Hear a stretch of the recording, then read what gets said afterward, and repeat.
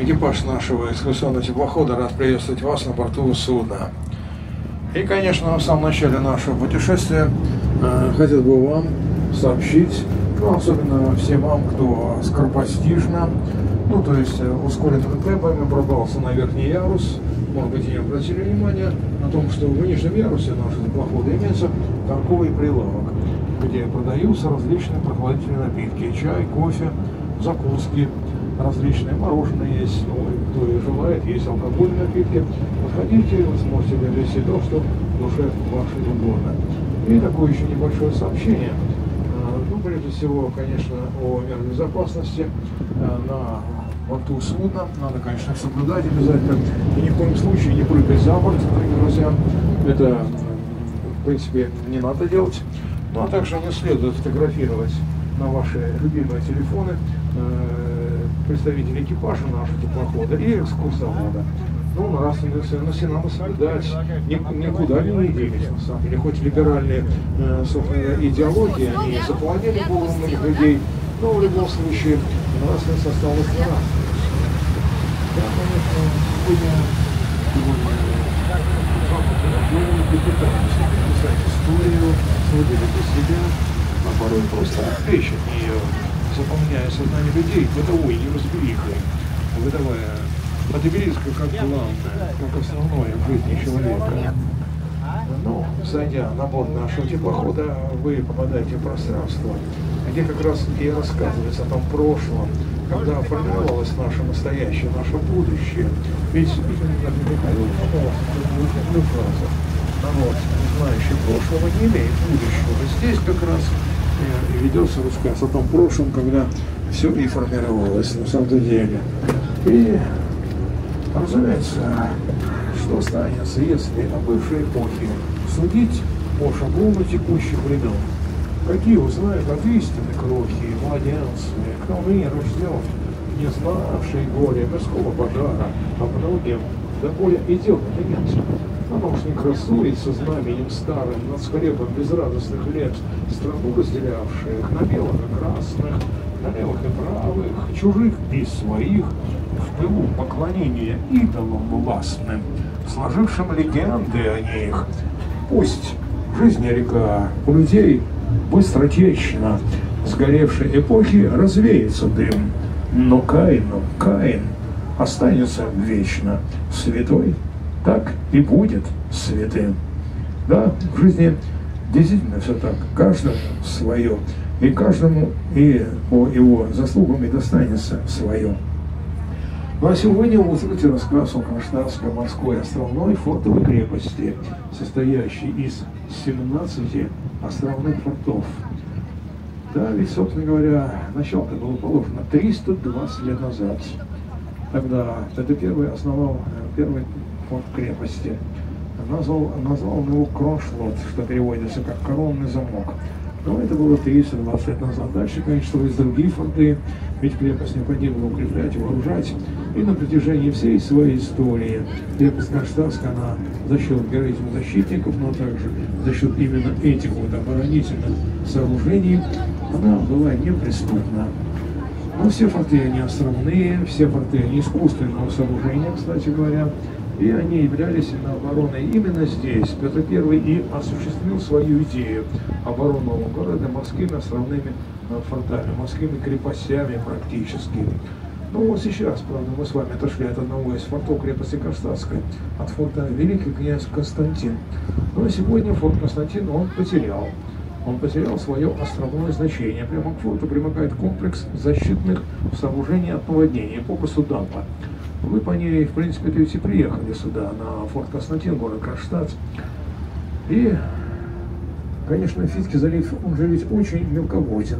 Глубины небольшие в Финском заливе, а глубина фарватера, которую мы сейчас с вами пересекаем, от 11 до 16 метров. Фарватер. Многие, конечно, слышат это слово, но не все знают, что означает оно. Но любой человек знает, что такое дорога. Фарватер – это и есть морская корабельная дорога. И вот сейчас видите вы, что фарватер э, пересекает прямо дамбу, проходит сквозь дамбу. По правому борту, по ходу движения нашего теплохода прекрасно видно это сооружение.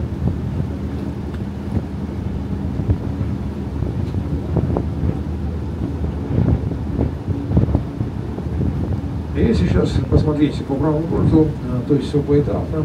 Мы проходим мимо сооружений, которые, в принципе, имеют значение огромное.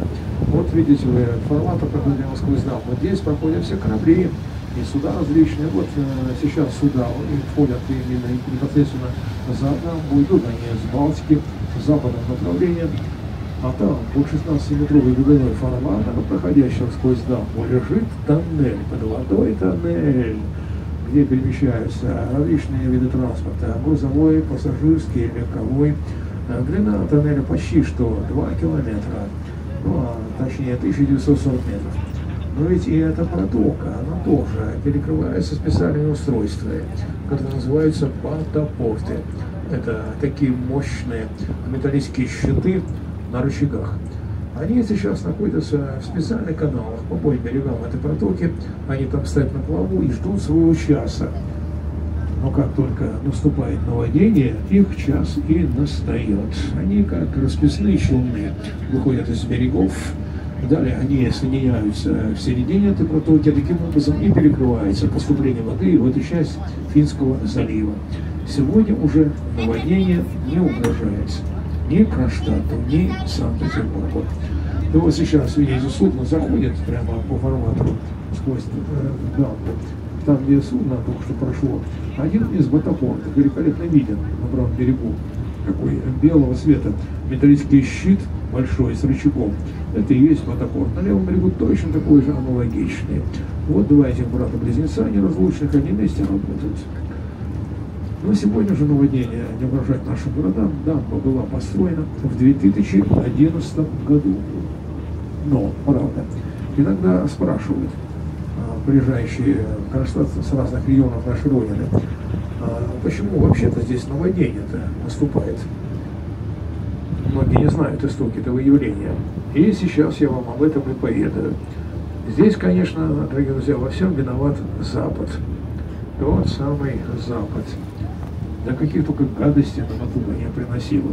Но обычно э, осенью начинают дуть мощные западные ветра, и ветер гонит волны с запада на восток в направлении Кронштадта, в направлении Санкт-Петербурга. Это явление, оно и так называется. Мангонная волна. Ну и за счет того, что в западном направлении Финский залив он довольно-таки широкий, а здесь он сужается. Образно выражаясь, напоминает бутылочное горло. Ну и вот за счет э, таких перепадов, там широко, здесь узко по законам физики, уровень воды здесь и повышается. Вот там сейчас своими словами я сказал, почему здесь самодеяние происходит. Ну, правда, еще один фактор, который дополняет.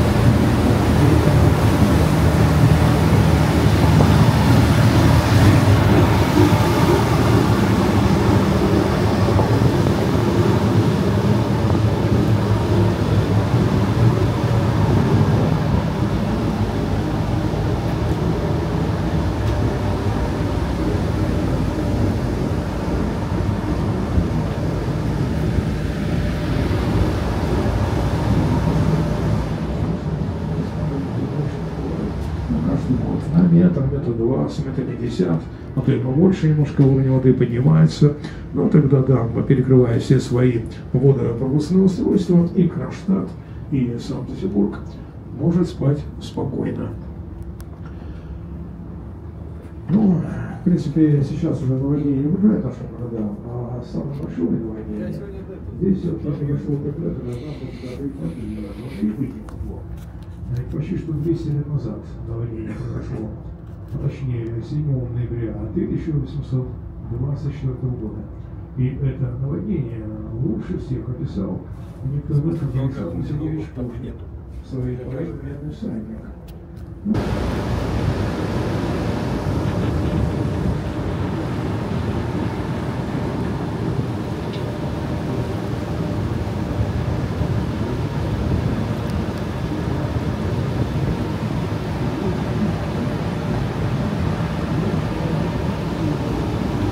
Конечно же, потушить было уже невозможно. Наступила детонация.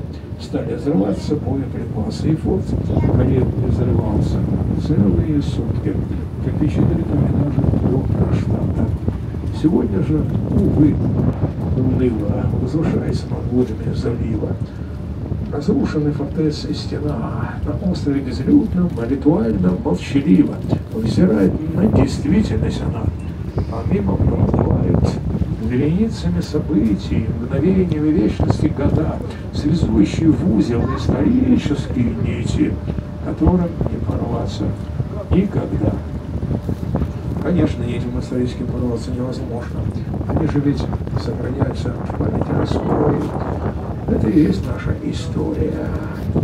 Ну, в принципе, есть люди, кто пытаются не то что оправдать, а говорят, говорят что ведь, собственно говоря, во флоте всегда выпивали моряки больше, чем, допустим, солдаты, больше, чем гражданский люд. Ну, на самом деле, довольно бесспорное такое мнение. Это ведь ну, они говорят, что ну, ведь Петр Первый, он сам ратовал за пьянство. Э, в некоторых фильмах так и показано, чтобы именно выпивали э, и моряки, да и все окружающие, всякие э, как раз сборища были для этого организованы. Ну и на самом деле даже чарку водки он вел на флоте, чтобы моряки выпивали.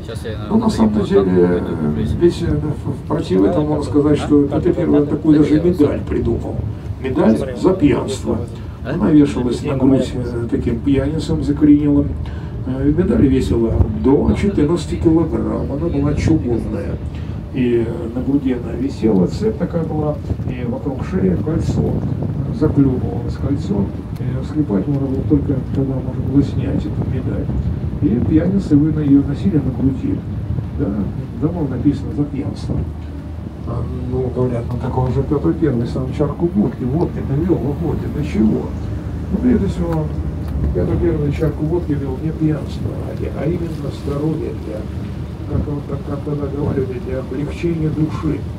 Почему? Ну, потому что корабли ходили дальние походы, по несколько месяцев они были в морях, океанах, разумеется, э, каждый день они видели одно и то же. Небо, вода, паруса, довольно-таки каторжный такой труд морской, корабельный.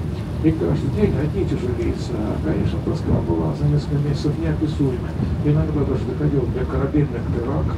Было довольно-таки войны были весьма довольно серьезные, настолько люди друг другу надоедали за дальние походы. Вот для этой цели чарка водки выдавалась, она облегчала душу, то есть успокаивала нервную систему. Ну, кстати, многие думают, что чарка была довольно большой. На самом деле это не так. Чарка водки равнялась 123 грамма всего лишь навсего. И водка была не 40 градусная, она была 25-30 градусов в те времена Петровские. Да и выдавалась чарка водки четыре раза в неделю. Это э, среда, пятница, в субботу и воскресенье всего лишь на все. И выдавалась она только кораблям, которые шли в моря. Кто у берега стоял, чарку водки не получали, разумеется.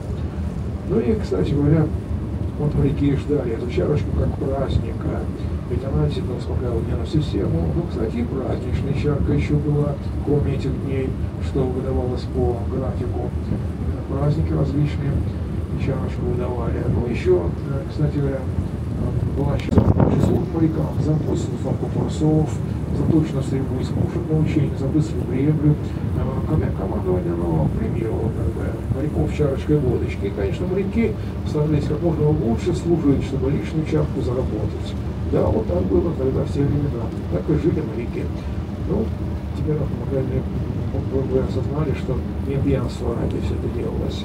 Но, правда, вместе с чаркой водки выдавался еще один гарнец пива.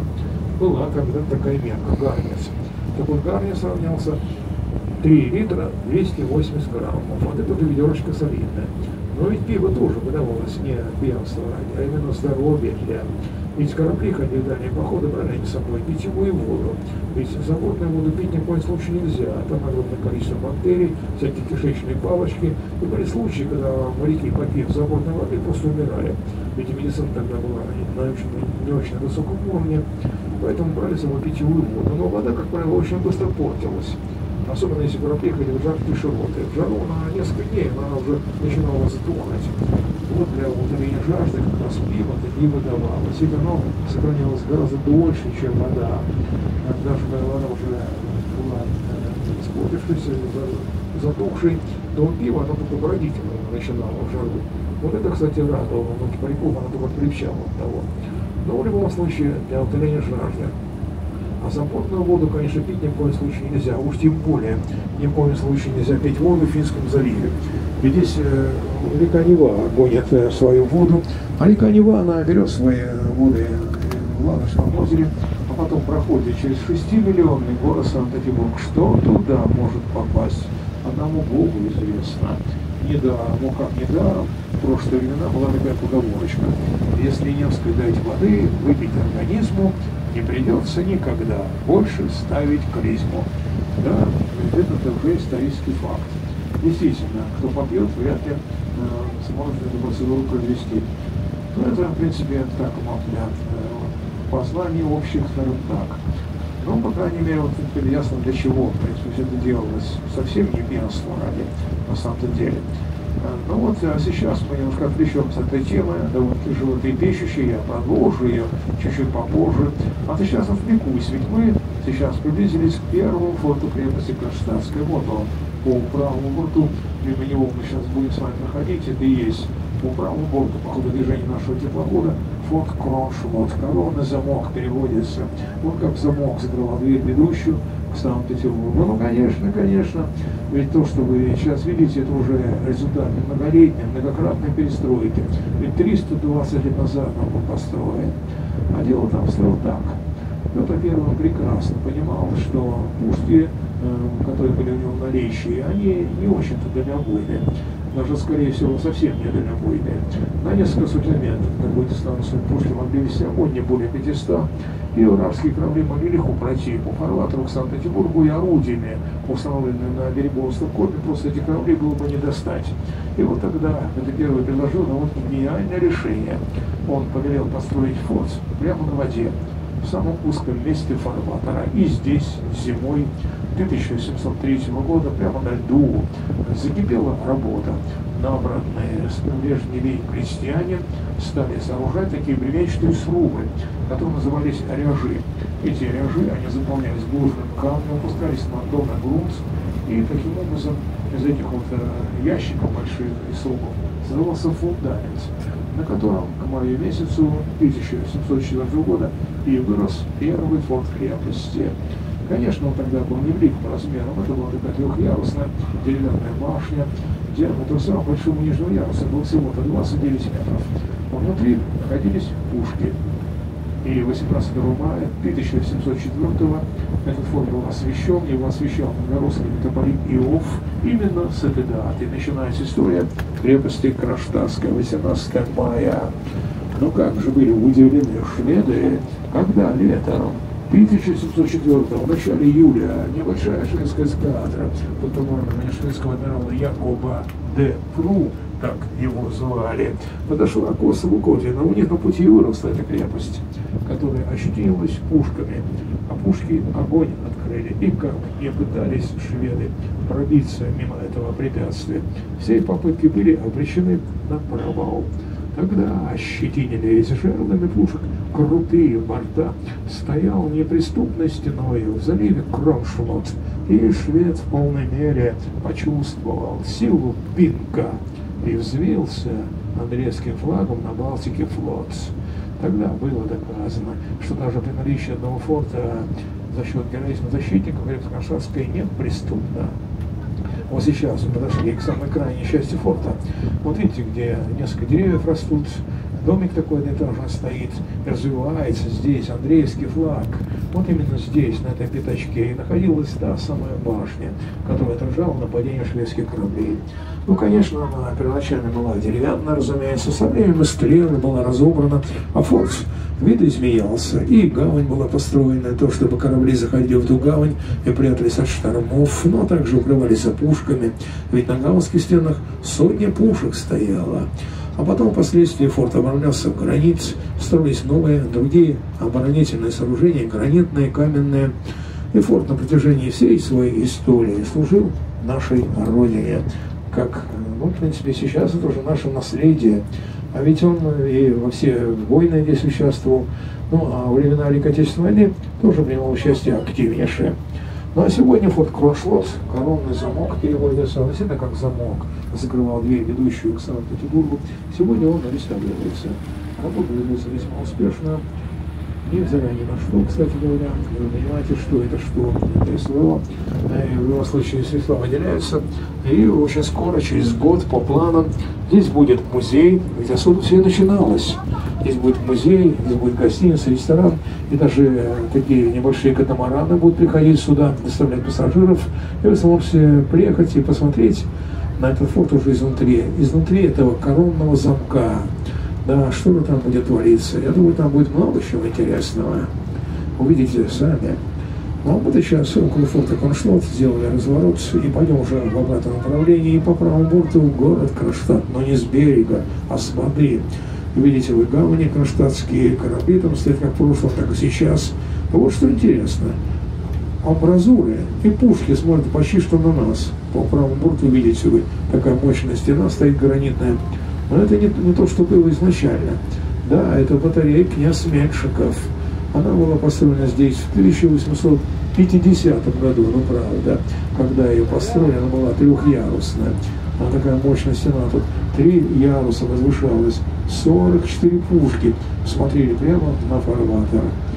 Она возникла здесь отнюдь не силуэтом, а стройной, высокой гранитной стеной, красивую и статную, но с пушками при этом, под ветром, снегом, в дождь и в зной. Ее боялся брак, ведь княжеское имя, к тому же после ужаса кинжального огня, нещадной стальной грохота и дыма, бежали все, Кронштадт кляня.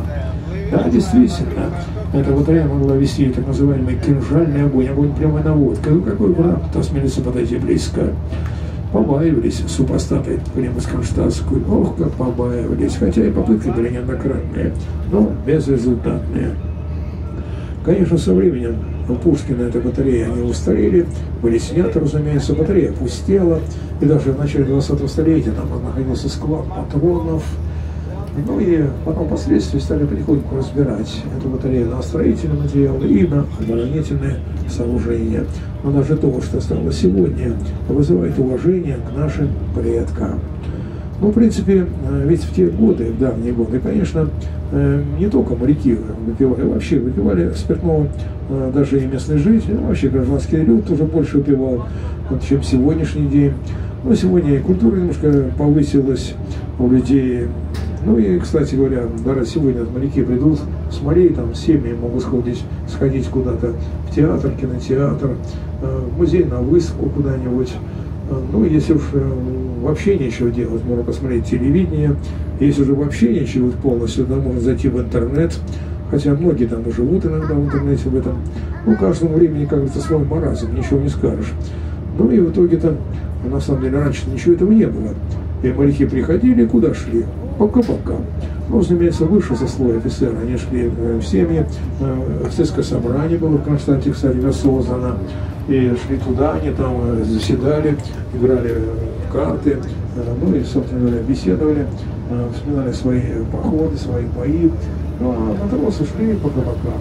Константин, кстати, славился кабаками и публичными домами.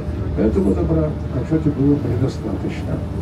Ну и, конечно же, в Кронштадте было такое удивительное общество.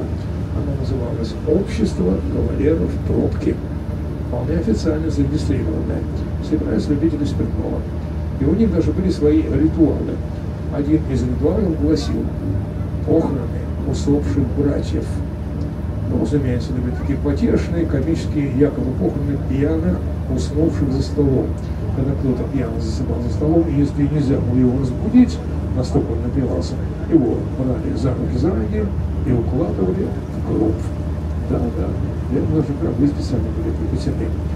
Ну и дальше крышку не закрывали, из этого гроба руки и ноги торчали, и гроб устанавливался на катафалк.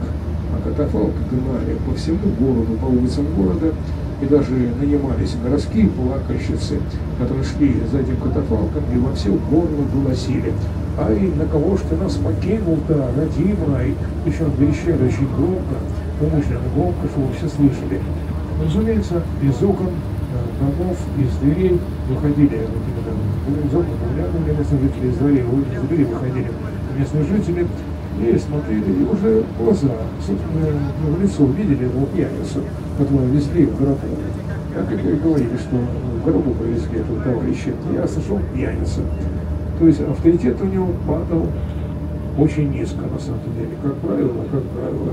Его потом впоследствии никуда и не пускали. Ну, пьяниц никогда не любили на самом деле, именно хронических. Вот такие вот моменты рекламы были. Не то, что сегодняшний день. Сегодня, наоборот, рекламируют алкогольные напитки, это пивные всякие. А раньше образом с пьянством боролись. Пьяницу увозили по всему городу и показывали его людям. Конечно, собственно, это было весьма довольно-таки такое действие, это долгоиграющее. Много лет это общество действовало, поэтому реклама была весьма хорошо развита в этом отношении. Антиалкогольная такая. Хотя общество само все было создано для питья алкоголя. Но потом, конечно, когда провезут по городу, по всему, если этот усопший, уснувший не просыпался, начинали строить, устраивать сами похороны. Крышку закроют, но не заколачивали, разумеется, укладывали сток сена обычно летом, а зимой сугроб даже ставили. И начинали устраивать поминки. Но опять умудряли, конечно. Но самое смешное было несколько попозже когда этот усопший, уснувший все-таки просыпался и ошарашенный вылезал из этого гроба, вот тогда начинали отмечать его воскрешение опять. Оживляли. Вот таким образом веселился народ в прошлые, прошлые времена, когда не было интернета. Да, увы, это исторический факт. Потому что удивительно тогда боролись. Сейчас народ рекламирует. В чем разница? Тогда все натурально, сейчас все виртуально. Опять разница. Увы, это тоже исторический факт. Есть над чем подумать. Ну, в принципе, это так маленькое отвлечение философское такое. Ну, а сейчас мы проходим на еще одну фото крепости Кронштадтской. По правому борту вы уже его и видите. Это форт император Петр I. Как ориентир, там труба видна, котельня, паровое отопление когда-то было. На сооружении возвышается строительный кран, форт реставрируется, лесами покрыт. Но на нас смотрит такая полубашенка, округ, округлая такая. И там нижняя часть полубашенки, она покрыта гранитом, там видны амбразуры парные, когда-то пушки из них выглядывали. А сверху настроен еще один кирпичный этаж э, с окнами. Это говорит о том, что форт неоднократно перестраивался, перевооружался. А это было так действительно на самом-то деле. Ведь форт был построен еще при Петре Первом. Ну, правда, тогда он был, конечно, деревянный. И назывался он «Цитадель». Но он был построен, чтобы вот именно увеличить крепость. Тогда вот сразу после форта Кроншлот, он, если его возвели в 1724 году, и возвели его на расстоянии пулечного выстрела э, того времени, именно непосредственно от Кроншлота. Э, ну и э, по другую сторону фарватера, чтобы перекрестным огнем э, перекрывать фарватер. Но он был деревянный, целый сто лет деревянное сооружение находилось, но наводнение, опять-таки наводнение 1824 года. Многие крепостные сооружения были повреждены, многие даже разрушены, и пришедший к власти в 1825 году император Николай I, он и повелел строить форты в камне. И первым как раз деревянную цитадель перестроили. Тогда а, этот форт он обрел свое имя, форт император Петр I, 1800 304 и служил он нашей родине как оборонительное каменное уже сооружение. Вот видите, вы амбразуры, пушки тут когда-то выглядывали. И всего, ну, сейчас форты укрыты, видите, а всего-то на форту было 97 пушек, вот так же в амбразурах. Да и на верхнем ярусе, ну, верхний ярус, э, в принципе, он назывался Волганг. На самом деле, фортификация есть такое э, винослово.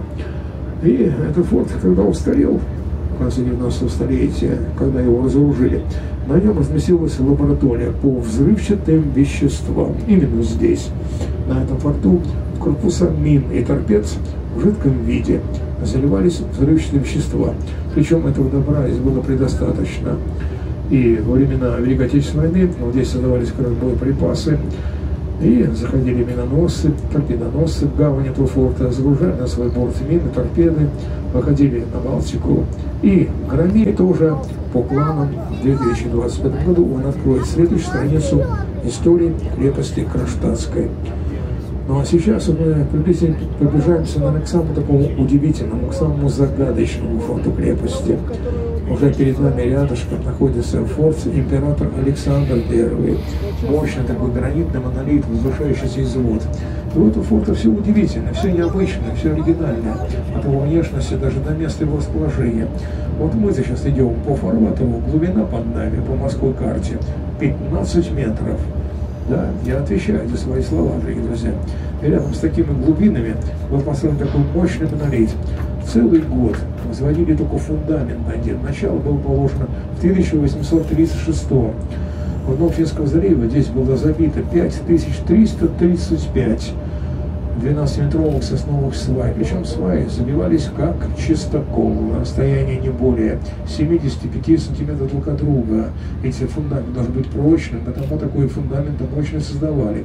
Потом это пространство засыпалось крупнозернистым песком, и дальше на этом фундаменте из кирпича и был построен этот форт и облицованный а уже позднее гранитными блоками. Толщина стен 3 метра.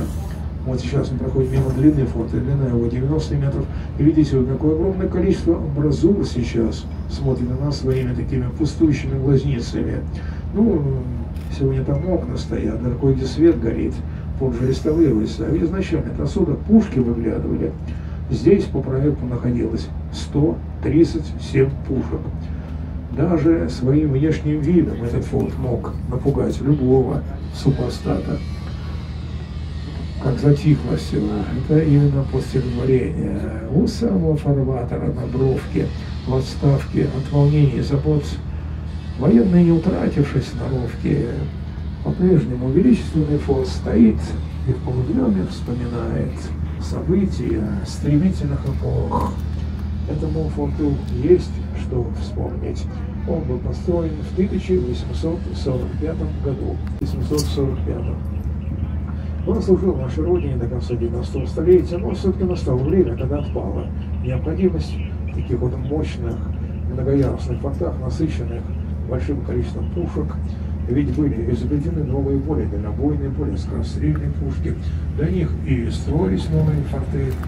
Ну и форт император Александр I в конце 19 столетия полностью разоружили. Пушки сняли, отправили на. И тогда, именно тогда, в конце 19 века, и заполыхала эпидемия бубонной чумы.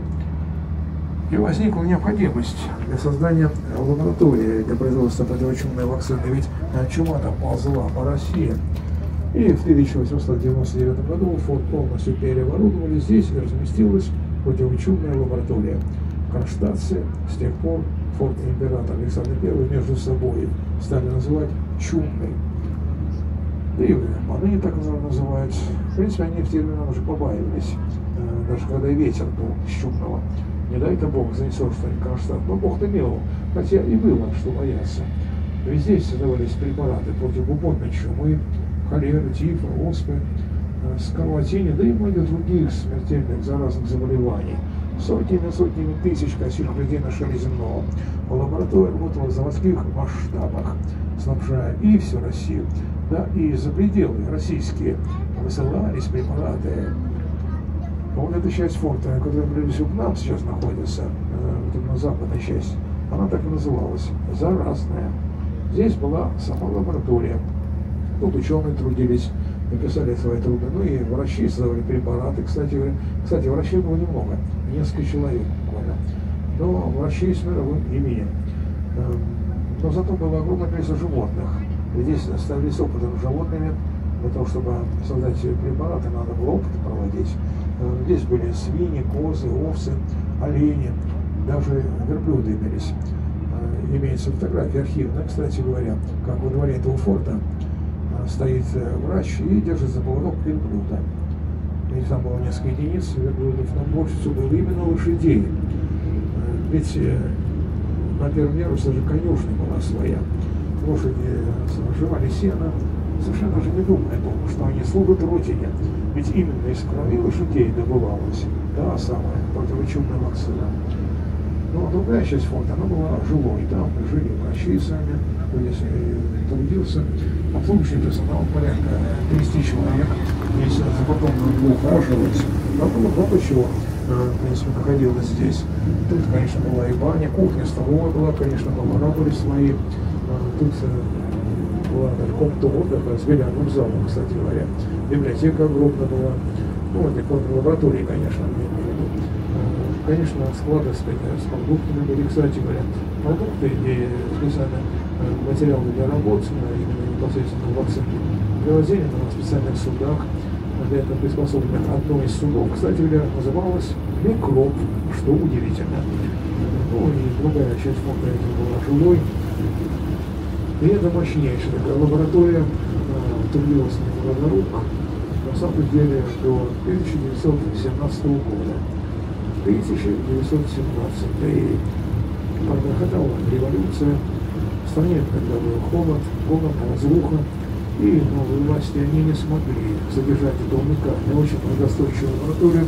Лаборатория была закрыта, все оборудование вывезено, и началась очистка фонда. И там же такие заразные болезни находились в казематах, опыты проводились.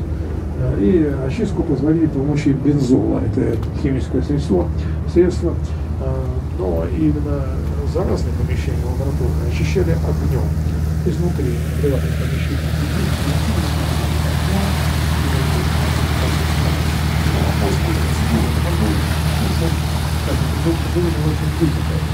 Было очень очищали, и после катастрофы склад был натурального оборудования. Долгие-долгие годы еще этот форт жил в нашей родине. Военные его покинули только в 1983 году. И там хранились и костюмы водолазные, травы различные модификации для тролления мин. И после этой вот э, форт, когда военные покинули форт, э, он долго время пустовал. Ну а сейчас форт э, император самый первый, он реставрируется ведутся весьма успешные реставрационные работы, уже проведена очистка форта, внешне уже не так давно были, сняты леса, ведутся внутренние работы, и очень скоро, в 25 году, по планам, здесь будет музей той самой лаборатории, где наши врачи боролись со смертью.